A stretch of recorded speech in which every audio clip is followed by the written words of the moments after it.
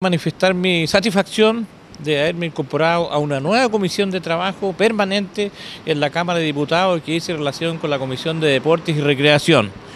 Obviamente que al uno estar participando en una comisión permanente también tiene que abocarse a ciertas tareas, a ciertas misiones, a ciertos cometidos.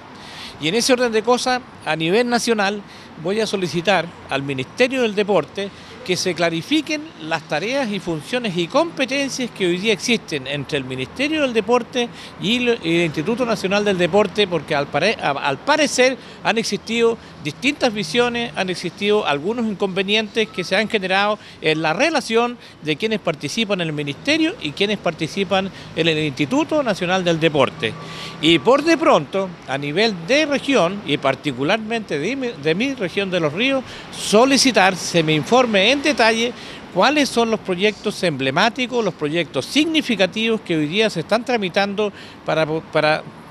para el bien de lo que es el desarrollo, el crecimiento de la actividad deportiva en general de la región de los ríos.